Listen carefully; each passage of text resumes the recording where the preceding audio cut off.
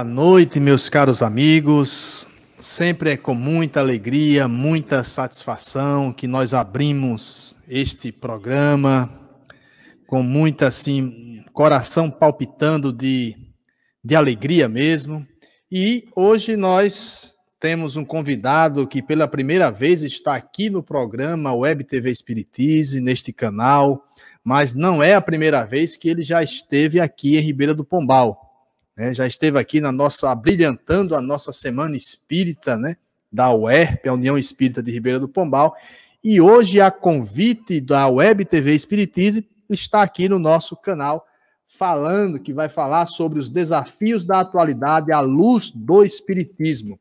Então, é, antes de anunciar o nosso convidado, gostaria de dizer que após esta live, nós teremos também André Luiz Peixinho, né, o presidente da, da FEB, falando sobre reforma íntima, como fazê-la. Um tema interessante também.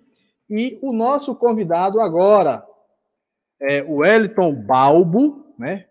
Ele que é vinculado ao Centro Espírita, ao Centro Espírita, cidade de, de é, é, de Salvador, na verdade, colaborador da Escola de Doutrina Espírita A Caminho da Luz.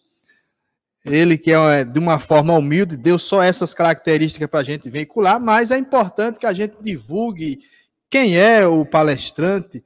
Ele é escritor, escritor de algumas obras, inclusive quando esteve aqui em Pombal trouxe algumas obras, é, dentre essas obras, eu que tive o prazer de comprá-la e de ler esta obra, né, Pérolas Devolvidas, né, e estou vendo aqui, dentre esta obra, tem outras tantas obras que a gente pode encontrar também na Amazon. Né? Então, é, o lápis e a borracha, Olivia e a salada de frutas, então são temas assim infantis, a arena de conflitos, ele com outros, né, com outros escritores que traz aí uma série de literaturas dentro da doutrina espírita, trazendo é, profundas reflexões acerca do ser humano. Então, o Elton Balbo é com muita satisfação que Jesus possa lhe abençoar e que os anjos de guarda, em especial o seu anjo de guarda neste momento, possa lhe inspirar, canalizar as energias necessárias, a inspiração necessária para que as suas palavras toquem profundamente os nossos corações. Você que está nos assistindo, não esqueça, é muito importante que você coloque esse vídeo para frente, divulgue, compartilhe, fale para os amigos. É uma forma da gente estar divulgando o bem e também de fazer o bem. Então, meu irmão, meu amigo Wellington Balbo, as...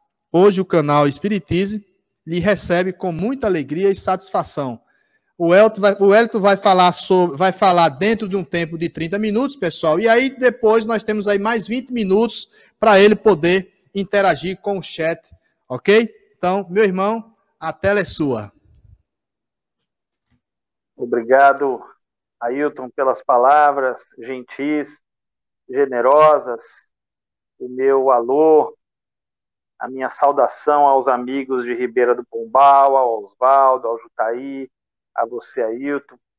Me receberam de uma maneira muito carinhosa, muito atenciosa. Estive aí. Vai fazer um ano, né? Se já não fez, vai fazer um ano que nós estivemos juntos aí pessoalmente. E com certeza teremos aí mais oportunidades para estarmos juntos pessoalmente também, podendo trocar ideia à luz da nossa querida doutrina espírita.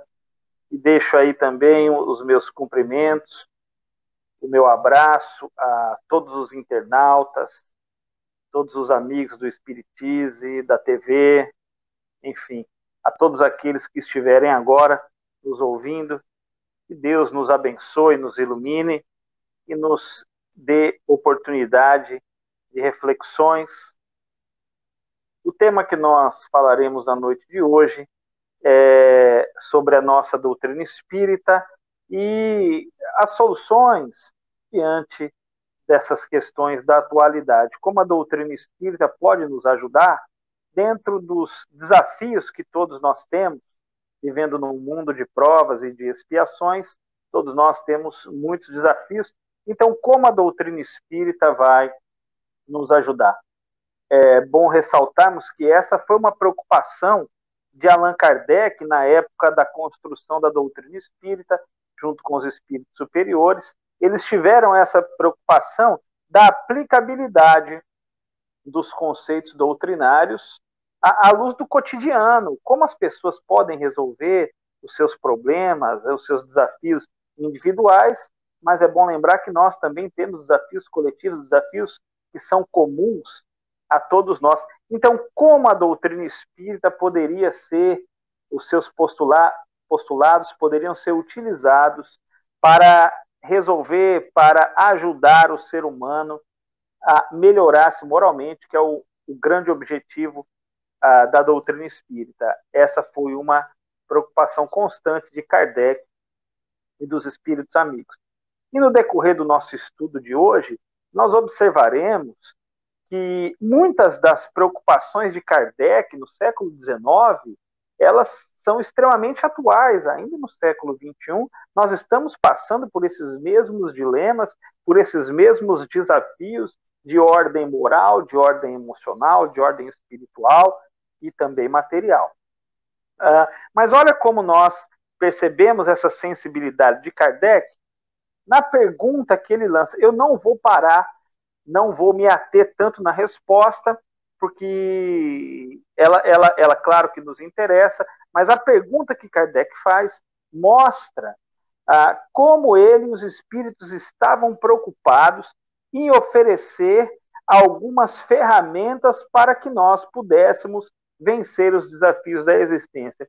Então percebam na pergunta, eu chamo a atenção de vocês para a pergunta que Allan Kardec faz na questão 919 de O Livro dos Espíritos.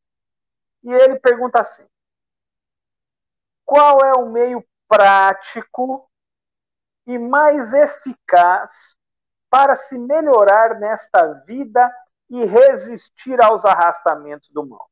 Então, percebam, meus amigos e minhas amigas, que Allan Kardec quer saber um meio prático, um meio que nós ah, pudéssemos, na época e agora também, colocarmos em prática para que pudéssemos nos melhorar e vencer os arrastamentos do mal. E detalhe, ele não quer só um meio prático, ele quer um meio prático, mas ele quer também o mais eficaz.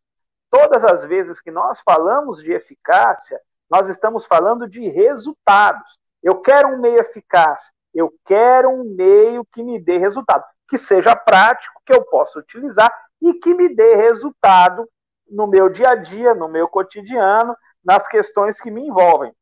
Olha a preocupação de Kardec, extremamente atual. Então, a gente percebe que a preocupação dele não era com o passado nem com o futuro, é com o cotidiano. E a doutrina espírita, a gente pode aplicar ela no nosso cotidiano. E aí, o que, que os espíritos respondem? Aqui Santo Agostinho responde: olha, faz como eu fazia em vida. Faz como eu fazia em vida. Ao final do dia, esse é um meio prático e eficaz que dá resultado.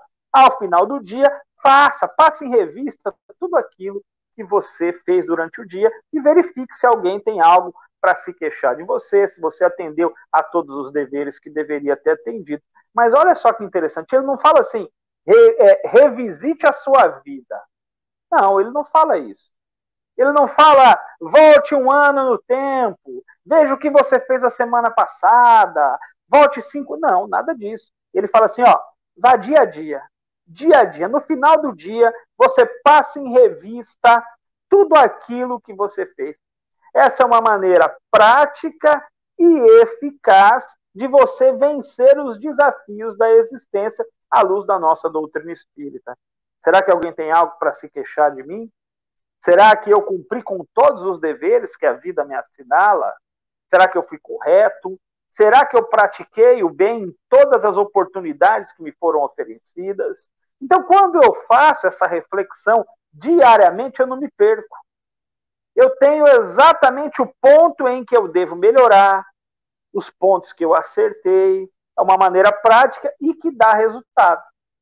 Olha aqui que nessa questão de Kardec, nós então já pegamos como a doutrina espírita ela pode ser aplicada no nosso dia a dia para que nós possamos vencer os mais complicados, complexos, intrincados desafios da existência. A doutrina espírita ela é perfeitamente aplicável no nosso dia a dia. E todos nós temos os nossos desafios íntimos, nossos desafios particulares, vamos chamar assim. Indivíduos que uh, uh, consideram que devem trabalhar a questão do egoísmo, do orgulho, das emoções. Porém, todos nós temos, e eu separei alguns aqui para a gente refletir junto na noite de hoje, alguns desafios que são coletivos. Eles servem para todos nós. Todos nós. Todos nós passamos por isso. Então, vejam só. Por exemplo, essa questão da pandemia. Todos nós estamos passando por essa dificuldade. Ela abala mais uns, menos outros, mas é uma questão mundial. Como será que foi lá no século XIX? Será que os conterrâneos, os, os contemporâneos de Kardec passaram por esse tipo de desafio? Isso existe desde que o mundo é mundo, desde que o homem começou a, a, a, sua peregrinação pela Terra, a sua jornada evolutiva pela Terra, e essas questões existem. E aí Kardec vai nos falar lá na Revista Espírita que no século XIX, alguns companheiros, alguns colegas de doutrina espírita passaram por esse desafio, esse desafio da epidemia nas Ilhas Maurício, por exemplo, é, uma febre invadiu as Ilhas Maurício e o grupo espírita que existia lá nas Ilhas Maurício, segundo o, o relato do correspondente de Kardec, o grupo espírita lá das Ilhas Maurício teve que se desfazer. A reunião que eles gostavam, que eles apreciavam, eles tiveram uh, que parar de realizar por conta da epidemia, dessa febre que acabou acometendo toda a população das Ilhas Maurício. Com um agravante, naquela época nós não tínhamos YouTube, não tínhamos Facebook, não tínhamos Instagram, não tínhamos internet, não tínhamos, eles não tinham, no caso, ferramentas que pudessem proporcionar a continuidade das atividades. Eles contavam apenas com as cartas que os correspondentes escreviam para Kardec. Não poderiam, então, realizar as suas tão caras reuniões familiares, recebendo as instruções dos bons espíritos e que e tantos benefícios traziam a eles. Tiveram que se afastar. Assim como nós, eles tiveram a sua rotina sequestrada, a sua rotina roubada e tiveram que, naquele longínquo século XIX, passar por esse desafio. E segundo consta, o correspondente de Kardec vai narrando que eles estavam lidando muito bem com essa questão da epidemia, relativamente bem estavam cultivando a paciência, a tolerância, a resignação diante dos desígnios de Deus e que torciam para que o momento passasse o mais breve possível. Mas eles não perdiam a fé em Deus e nos bons espíritos.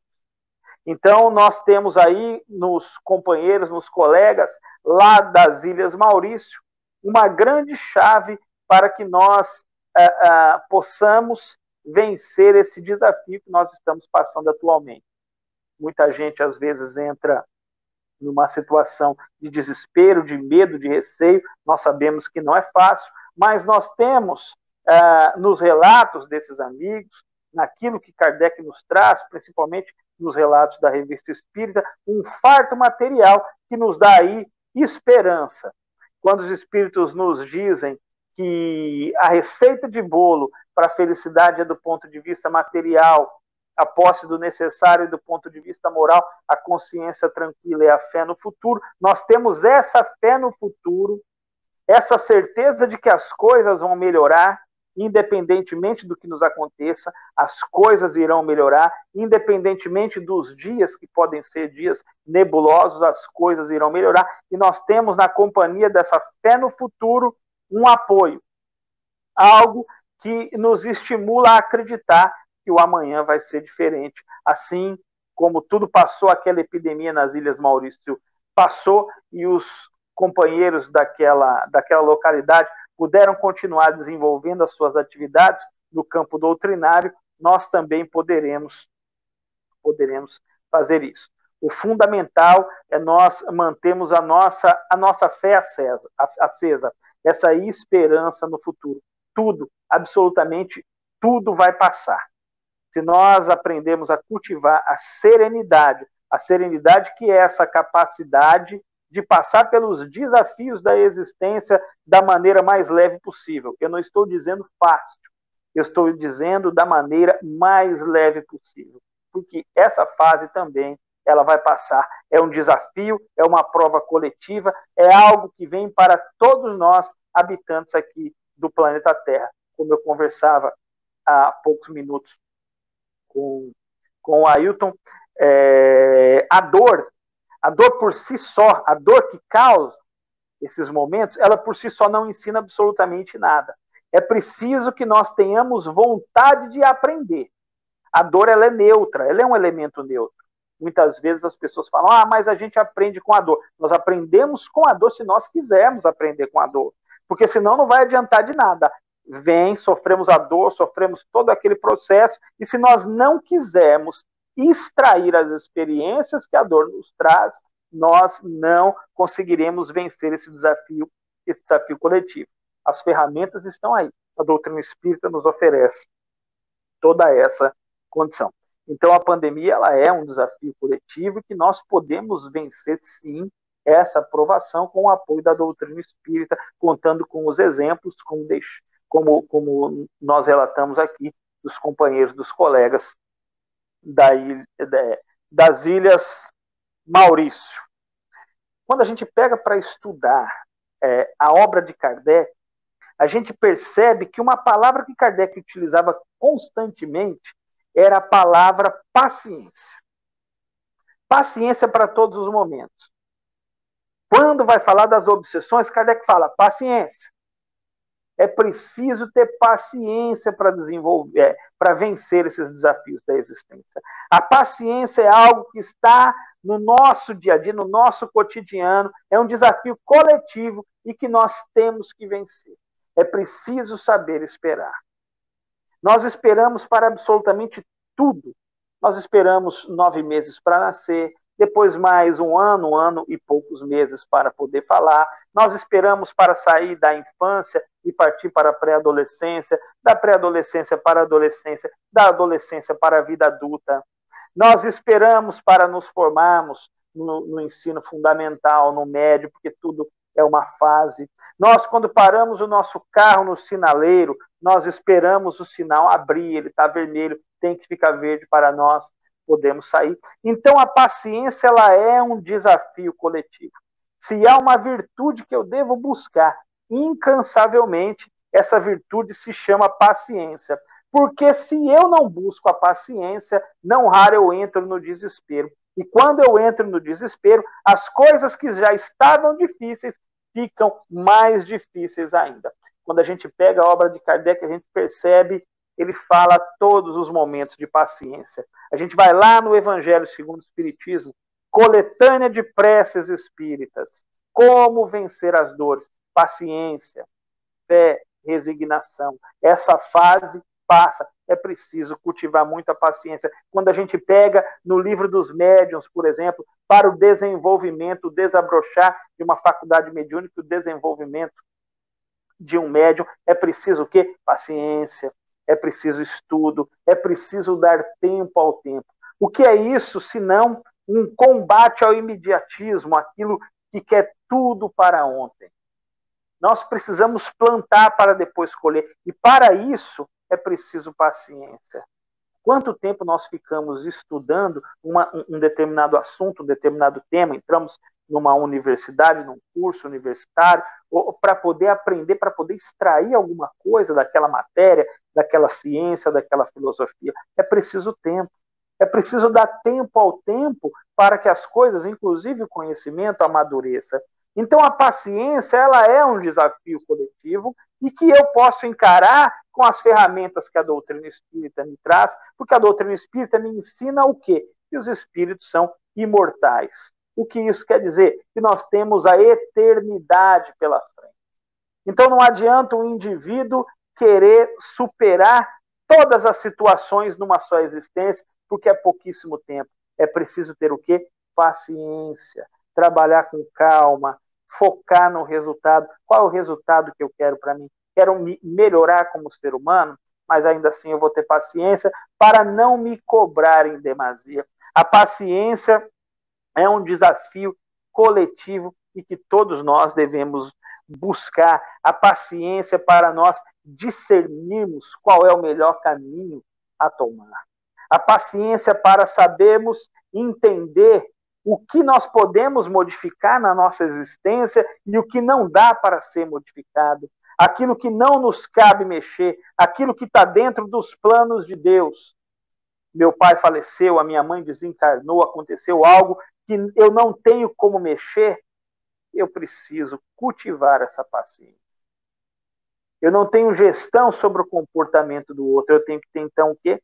Paciência diante das coisas que me acontecem é algo que falta muito para o nosso dia a dia. Quantas vezes nós uh, nos embaralhamos, nós acabamos é, é, nos prejudicando porque nos faltou esse elemento tão básico chamado paciência e que Allan Kardec sempre nos chama a atenção para isso.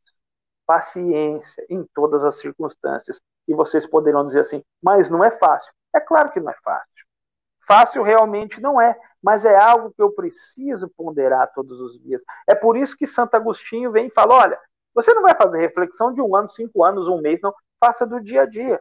Nesse dia lhe faltou a paciência, você conseguiu se controlar diante de tudo que aconteceu? Qual nota você daria a si diante de um familiar difícil que lhe provou nessa questão da paciência, diante de uma situação que você quer que aconteça logo, mas que por algumas questões ela não ocorre e você tem que esperar um pouco mais. A grande questão é: você fez tudo aquilo que podia ter feito, aquilo que estava dentro do seu raio de ação, você fez tudo, ótimo. O resto, que não depende de nós, a gente pode seguir tranquilo, que no momento oportuno a vida nos dará é, essa chance, essa oportunidade de nós conseguirmos realizar. O que é meu, o que me compete fazer e o que é obra de Deus, o que eu devo esperar os bons, os bons espíritos atuarem para que as coisas se realizem. Paciência sempre. Nós não vamos sair da estaca zero e automaticamente para a estaca 10. É preciso paciência, passar pelo número um, pelo número dois, pelo degrau da existência. Então, muitas vezes as pessoas entram em parafuso. Mas, meu Deus, principalmente quando conhece a doutrina espírita, com essa mensagem que fala tão claro a questão da melhoria moral. Quando a gente conhece a doutrina espírita, nós queremos trabalhar, nós queremos entusiasmados, nós queremos modificar algumas tendências, alguns comportamentos que nós temos, e quando percebemos que não conseguimos resultados tão positivos, a gente fala, ah, eu desanimei, desanimei porque é, não adianta, eu não consigo vencer isso. Calma. É preciso ter paciência até com nós mesmos. Fazer aquela análise diária, verificar o que nós podemos mudar, modificar as nossas estratégias de ação para vencermos as nossas inclinações ao mal. É preciso paciência para isso. Porque a gente não vai dar salto. Então, tudo com calma. Nós temos a eternidade pela frente. Eu não estou dizendo para pararmos, pararemos muito devagar, mas é termos calma. Não colocarmos tantos pesos em nossos ombros. Nossa, mas eu ainda sou muito ruim, sou o último dos irmãos. Calma, calma. Todos nós estamos caminhando. Por mais que nós achemos que não, nós estamos caminhando. Por quê? Porque o progresso é uma lei. E ele vai se cumprir. O progresso vai se cumprir. Há dois tipos de progresso. O progresso proveniente da força das coisas que a própria natureza se encarrega de fazê-lo, e ao progresso proveniente da vontade, que depende de nós. Ora, se depende de mim, então, por que não utilizar? Um outro desafio, um outro desafio nosso, são tantos. Estou falando dos desafios coletivos que são comuns a quase todas as pessoas nesse mundo de provas e de expiações. Gerir as emoções, controlar-se diante das emoções que nos surgem de todas as maneiras, diante do jornaleiro que não nos deu bom dia, diante da pandemia que se apresenta, diante da dificuldade financeira que nos assola, diante de todas as situações, um desafio é gerir as nossas emoções. Quantas vezes nós falamos coisas que não gostaríamos de ter dito e nos arrependemos depois? Quantas vezes nos deixamos levar pelo impulso, respondemos na mesma moeda, mas o porquê isso ocorre e como gerir essas emoções? Isso ocorre e nós vamos encontrar lá na escala espírita uma parte que eu quero ler para todos nós aqui refletirmos. É o último parágrafo da segunda ordem, quando nós entramos na categoria de bons espíritos. Os bons espíritos, eles compreendem Deus e o infinito e já desfrutam da felicidade dos bons. São venturosos pelo bem que fazem e pelo mal que impedem de ser feito.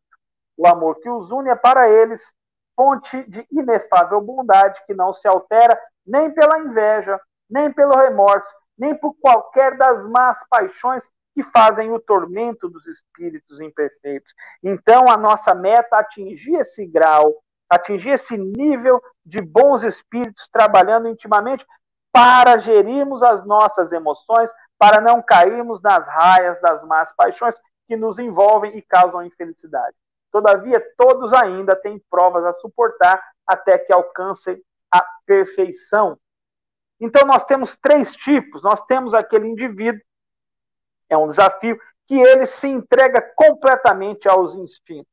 Diante de qualquer contrariedade, ele se aborrece de tal maneira que ele não consegue se controlar. E ele tem até um capítulo do Evangelho segundo o Espiritismo que se chama a cólera. Fica a dica aí para nós estudarmos esse capítulo. Ele, ele se entrega a essas paixões e ele acaba, então, eh, jogando, atirando toda a sua ira até nos objetos inanimados ele chuta a parede, ele quebra copos, ele apronta toda uma situação extremamente constrangedora. Depois pode até se arrepender, mas ele não conseguiu se controlar. Ele não conseguiu se controlar porque ainda ele está um pouco afastado dessa passagem para ser um bom espírito. A matéria fala ainda muito mais alto do que o espírito dele. Ele não consegue gerir as suas emoções, ele ainda está muito lá para trás. Quando nós agimos assim, é muito importante para a gente vencer esse desafio refletir. Refletir nessa questão. Para um segundo estágio, para um estágio um pouco mais avançado, nós temos aquele indivíduo que ele ainda se aborrece. Ele ainda se aborrece, mas ele já consegue se autocontrolar. Quando alguém fala alto com ele, fala grosso com ele, ele vai. A, a, primeiro, o primeiro impulso é para responder na mesma moeda, mas ele já consegue se controlar. O que, que Allan Kardec fala desse indivíduo? Esse indivíduo é aquele em que o progresso está se realizando. Então, o primeiro que se entrega completamente às paixões, aos instintos, o progresso ainda não se realizou, ele é carregado, ele é levado por essas emoções. O segundo, não. O segundo, ele sente mas ele já se autocontrola. O que, que a gente percebe aí dentro dessa reflexão da escala espírita? Ele é um espírito em que está buscando que o espírito vença a matéria, que a reflexão ganhe da irracionalidade. Kardec diz que, é, e é um desafio grande isso, Kardec diz que ele é um indivíduo, é um espírito em que o progresso está se operando está em trânsito, ele está conseguindo, então, esse progresso. É claro, é claro que uma vez ou outra ele vai fraquejar, mas, via de regra, ele vai vencer, ele vai conseguir domar, ele vai conseguir calar essa fera que, que ainda existe nele, com muito esforço, com muito empenho, com muito estudo, com muita reflexão, ele vai conseguir é, sair vitorioso. E já num terceiro estágio, é aquele indivíduo que já venceu as limitações. Portanto, ele não deixa, ele já atingiu esse estágio de bom espírito e ele não deixa se levar por essas emoções desencontradas. Ele não sente inveja, ele não sente orgulho, ele não sente raiva, ele já venceu por isso. por mais que as pessoas o provoquem, por mais que elas é, cutuquem esse indivíduo, ele já venceu essas emoções, essas paixões, ele já não é mais guiado por elas, então ele desfruta aí de um pouco mais de felicidade, de um pouco mais de tranquilidade. O grande objetivo nosso para vencer esse desafio é verificar exatamente qual é o patamar que nós nos encontramos. Qual o patamar que nós estamos para podermos, então, vencer esse desafio de maneira mais consciente. Aí eu volto a bater naquela tecla de Santo Agostinho, da questão 919, que está sempre falando para nós fazer uma revista diariamente. Porque quando eu deixo dois, três dias sem fazer essa análise, acumula. Acumula, eu não sei como é que eu estou indo. Aí a eficácia se perde. Eu não vou ter resultado. É por isso que ele fala para fazer todos os dias. Fica mais fácil de gerir, fica mais fácil de controlar. Eu só tenho gestão sobre aquelas coisas que eu controlo. Aí, um dos princípios da administração que a gente pode aplicar na doutrina espírita é, e no nosso dia a dia. Aquilo que eu não controlo, eu não tenho gestão. E para controlar, eu preciso fazer esse balanço existencial diariamente. Meus amigos, é, são muitos, tá? São muitos desafios que nós temos que vencer, que nós podemos aplicar, desafios coletivos, que nós podemos aplicar aí os conceitos da doutrina espírita. Eu gostaria de saber agora se há interação, se os amigos querem deixar alguma questão para a gente poder continuar. Tem sim, Balbo. É, o pessoal aqui, vamos começar aqui com uma Vamos começar aqui com uma colocação de Jutaí, lhe agradecendo. Um grande abraço ao nosso irmão Balbo, que tenhamos outras oportunidades de nos encontrarmos. É Jutaí. E outras tantas aqui, eu gostaria que você fizesse um comentário em cima de outro comentário que foi feito aqui no chat de Viviane Ferreira. Achamos bem pertinente. pertinente. Forçar a mudança sem entender o que há por trás de cada ação não adianta dificulta mais ainda o processo, ela diz. Eu gostaria que você fizesse um comentário em torno disso. É, pode forçar a mudança. Ela diz o seguinte: forçar uma mudança sem entender o que há por trás de cada ação não adianta. Dificulta mais ainda o processo. Oh, oh, Viviane, obrigado aí pelo seu comentário. De fato, é por isso que eu devo utilizar a, a, o autoconhecimento. Eu preciso ver, realmente me aprofundar e verificar o porquê determinada situação ela, ela está me cutucando, ela está me machucando. Até porque sem esse processo de autoconhecimento não adianta eu promover qualquer mudança, eu não saberei o caminho que eu quero tomar. Eu preciso verificar o que me incomodou aquilo que me incomodou, aquilo que mexeu comigo, aquilo que me tocou de fato, aí eu faço uma análise profunda. Por que, que aquilo me tocou? Quais foram os pontos que me tocaram? E aí sim, de maneira consciente, eu promovo um processo de mudança. Agora, esse processo, de, o, o, o, o forçar, forçar não resolve. Agora, ele não vem natural ele vem com muito esforço, ele vem com muito empenho. Ele não é fácil. Ele não é fácil. É preciso coragem para poder se encarar. Eu preciso me, me encarar, olhar para dentro, verificar os pontos que eu devo modificar em mim. Eu posso utilizar o outro como uma excelente ferramenta para autoconhecimento. As coisas que ele me diz, as coisas que ele me fala, elas podem mostrar muito para mim. Então, se alguém faz um determinado comentário e eu me aborreço, eu devo verificar o porquê que eu me aborreci diante daquele comentário.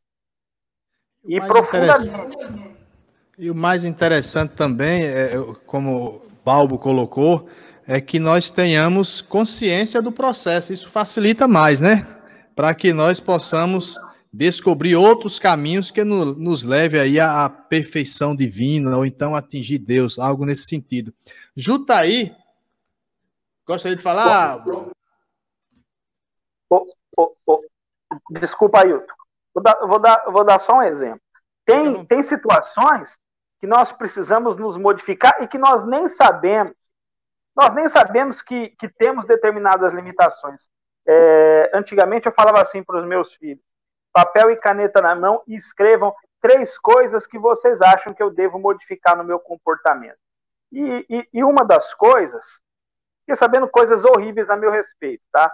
Mas uma das coisas, eles disseram o seguinte: olha, pai, quando a gente entra no carro, tá tocando uma música, uh, e você não gosta da música, você não pergunta nada para nós e você muda, você tira aquela música do carro.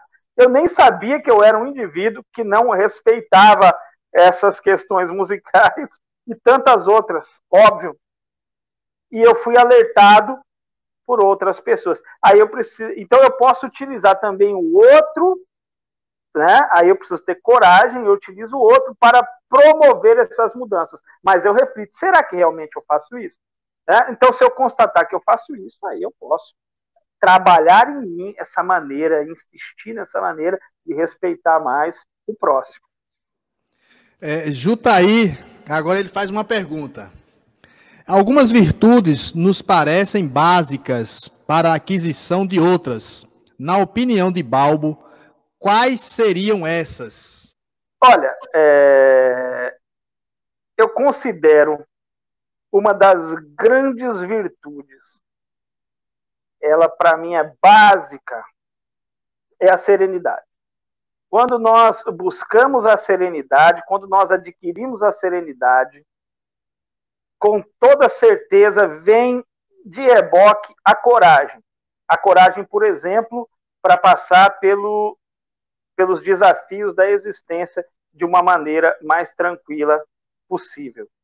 É, a gente poderia citar tantas outras virtudes aqui que acabam acarretando outras, mas eu citaria a serenidade como uma das que eu considero principal para quem está num estágio de mundo de prova e de expiação. E a serenidade muito bem tratada por vários filósofos, né, antigos. A serenidade, a tranquilidade da alma e coisa e tal, né? Como Sêneca, me recordei aqui agora desse grande filósofo, Balbo. É, Fernanda Linhares, ela diz o seguinte: Quero saber sua opinião, Balbo essa enxurrada de mensagens afirmando que a pandemia vai acabar tal data, visto que sabemos que o Espiritismo não trabalha com essas datas. Ela quer que você faça um comentário, que é, é o que a gente ouve, né, sobre isso. Ô, Fernanda, obrigado aí. Fernanda, a, a, Fernanda, nós somos amigos aí da, na rede social, né, Fernanda? E, olha, é, é, como ela mesma já disse, né? O Espiritismo não endossa nenhum tipo dessa previsão. Não tem como nós prevemos absolutamente nenhum tipo de data, não tem como. Kardec fala que qualquer situação desse tipo é, é um indício muito grande de mistificação. Na, na, na Terra, aqui nesse mundo, nós temos a, ação do homem, o livre-arbítrio, que pode é, retardar ou, ou ou acabar mudando os rumos, as situações. Então, tudo aquilo que é que se refere à data não tem como. Nós temos o homem atuando diretamente, tem a questão que envolve é, que envolve o livre-arbítrio. Falou de data para terminar determinada situação ou acontecer tal coisa, é bom a gente colocar, é, como se diz, a barba de molho, porque não tem como, né? não tem jeito. Bem interessante essa abordagem que, que Balbo traz, porque muita gente às vezes confundem né, a doutrina espírita como algo que deveria, né, uma doutrina que deveria adivinhar o acontecimento, o futuro, algo desse tipo, né, mas não é, como bem colocou. É, Balbo, você colocou aí na questão 919, você trouxe aí a, a pergunta que Kardec faz aos espíritos sobre qual meio prático mais eficaz para se melhorar nesta vida. O que me chama a atenção nessa pergunta sabiamente colocada por Kardec é que anteriormente Kardec faz uma outra pergunta. E os espíritos insistem com a resposta, mas aí ele, como se ele cercasse os espíritos. Diz: Não, vamos lá então. Então vou fazer essa pergunta aqui. Qual o meio mais prático e eficaz para que o ser humano possa se melhorar ainda nesta vida? Então, o que eu quero que você faça uma, uma colocação é sobre esta vida. Observe que Kardec foi muito categórico, né? Quando ele diz nesta vida, ele não está tá dizendo para outra vida, na outra existência, para se melhorar. É nesta. Kardec quer resultados agora, né? É, é. Ele, é, os espíritos respondem, bem, bem lembrados, responderam com uma máxima, né? Conhece-te a ti mesmo. Não, conhece-te a ti mesmo. Não, não quero conhece-te a ti mesmo. Eu quero uma coisa para agora. A gente está falando de desafios né, da, da vida aqui à luz da doutrina espírita. Eu quero algo que gere um resultado, eu quero algo prático, eu quero algo para o cotidiano. Como é que eu posso fazer? Então vocês vêm aqui, trazem uma mensagem dizendo que o objetivo do Espiritismo é que o homem se melhore, mas vai esperar a vida futura? Não, faz agora. Então aí Kardec vem e pede esse meio, esse meio é, prático, esse meio eficaz, e para a gente aplicar agora. A felicidade e a própria obra de Kardec está repleta, ela pode começar a ser colhida agora, não adianta eu esperar a vida futura. E aí vai até um, um ponto aqui que eu vou chamar a atenção, muitas vezes, Kardec, ele dá, ele dá uma, uma ele valoriza de maneira relativa a vida material. Né? Ele não despreza, mas ele valoriza relativamente a vida material. Mas a vida material é importante. Então, muitas vezes o indivíduo fala: Poxa vida, nossa pátria verdadeira. O mundo dos espíritos, ele preexiste ao mundo físico, a gente sabe disso. Mas quando eu falo minha, que a minha pátria verdadeira é no mundo dos espíritos, eu estou justamente esquecendo o trabalho que eu devo fazer agora, como você citou aí.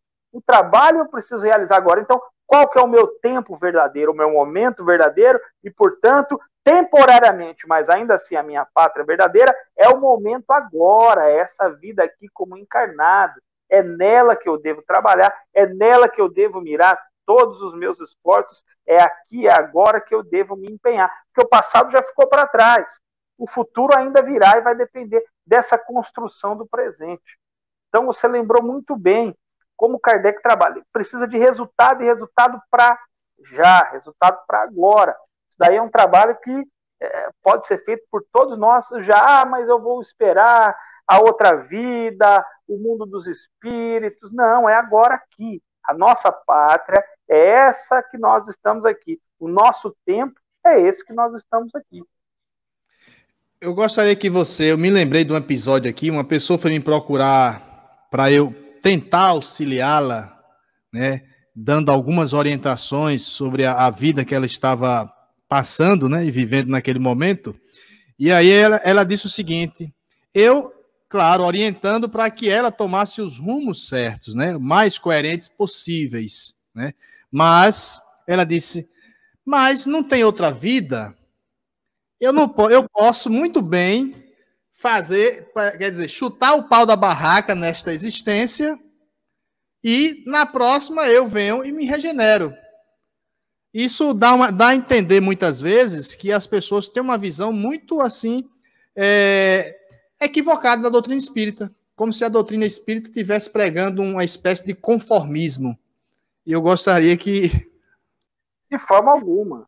A, a doutrina espírita ela traz aqui o momento presente para é, é, é nós trabalhar. A, que, a questão 909 de O Livro dos Espíritos, ela não teria sentido se não fosse para a gente trabalhar aqui agora, no momento presente. E o Kardec pergunta: podemos vencer as provações da existência? E os Espíritos respondem sim, fazendo poucos esforços. Poucos dentre vós são aqueles que se esforçam essa pergunta ela não teria sentido se não fosse para nós vivemos aqui agora essa vida, com tudo que essa vida pode nos oferecer em termos de, de condições para nós melhorarmos moralmente. Então é para nós vivemos aqui. Ah, mas e depois? Espera aí. Então você vai deixar para fazer depois? A, a, a que custo? Você sabe como estarão as coisas depois? Que você não faz agora? Por que você não muda agora? o tempo é agora, nós devemos nos modificar é agora já. Nada de ficar esperando esse futuro, esperando para depois, esperando o mundo dos espíritos. Aí é ficar acomodado, sentado na cadeira da existência, esperando o tempo passar. E nós não podemos perder esse tempo. Exatamente, é isso aí, porque às vezes as pessoas entendem equivocadamente. Nós temos que trabalhar constantemente, né, Balbo? E Jutaí, mais uma vez aqui, ele diz o seguinte: Balbo, se você poderia fazer uma relação entre a cólera, a paciência ou a impaciência e o orgulho? Um paralelo. Uma relação. A, có a cólera. A cólera, a paciência, entre, entre parentes, ou a impaciência e o orgulho. Tem, tem tanto paralelo que a gente, que a gente pode puxar é, é, dessas situações aí mas essa mensagem do Evangelho segundo o Espiritismo da cólera, ela deixa, ela deixa ali de forma bem, bem explícita como é fundamental, é fundamental, se o indivíduo não conquistou ainda a virtude da paciência, ele cultivar pelo menos o autocontrole para que ele não caia na cólera, para que ele tenha cada vez mais paciência, consiga levar a vida de uma maneira é, é, mais leve, mais tranquila, mais calma. E, e, um outro ponto relacionado ao orgulho, que é por que, que eu não aceito as situações que me ocorrem e que eu não tenho como modificar. Então, é, cultivar a paciência, cultivar o autocontrole nesse, nesses casos é justamente combater combater o orgulho. Combater o orgulho por quê? Entender que eu não posso mexer em tudo, eu não posso modificar tudo, e tem situações que não estão sob o meu controle, não tem como eu controlar, por exemplo, o comportamento alheio. Seria extremamente prepotente, extremamente orgulhoso de minha parte achar que eu vou controlar o comportamento de quem quer que seja. E a paciência, então, ela me ajuda a lidar tanto com as limitações, minhas limitações, como com as limitações é, é, do outro. Então aí eu vou estar automaticamente cultivando a paciência e combatendo o, o, o orgulho, automaticamente me aproximando da humildade, de entender que eu não posso tudo. Eu posso só aquilo que está é, sob o meu controle. Perfeito. Tem mais uma pergunta aqui. Mais, mais umas perguntas aqui, mas infelizmente o, o, o, tempo, né? Eu vou deixar esse tempo para Balbo fazer as suas considerações finais para nós podermos entrar com a próxima palestra. Então, Balbo, fica à vontade para fazer suas considerações. Bom, eu eu agradeço aos amigos de Ribeira do Pombal, Oswaldo, Ailton, Jutaí, a todos os amigos é, a gente só levantou aqui a ponta do iceberg, são questões que nós devemos trabalhar. Que bom que vieram perguntas. É, numa próxima oportunidade a gente pode trabalhar mais esse tema. Agradeço a oportunidade e só quero desejá-los aí um bom trabalho na próxima palestra. Que Deus abençoe a todos, ilumine a todos os amigos, que nós possamos seguir firmes, conscientes do papel que nós devemos desempenhar aqui. Muito obrigado, meus amigos. Então é isso aí, pessoal. Nós agradecemos profundamente a participação de Balbo aqui no nosso canal Espiritize e agradecemos também a vocês que estão aí e deixando aqui já já claro que logo após esta palestra de Balbo, de Welto Balbo, nós teremos André Luiz Peixinho. Então, meu irmão, nós agradecemos mais uma vez a sua presença, a sua disposição. Com certeza, Oswaldo vai lhe dar uma nova data para a gente poder tá aqui, discutir mais um pouco sobre a doutrina espírita. Pode ser a extensão desse tema, um outro tema. Então, que Jesus lhe abençoe e até a próxima data, com fé em Deus. Obrigado, até uma próxima. Bom trabalho. Muito obrigado.